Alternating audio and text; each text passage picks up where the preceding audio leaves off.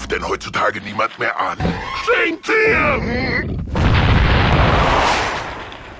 Das wäre dann erledigt. Ah, nein, mach, dass es aufhört, dass es nicht aushaltet!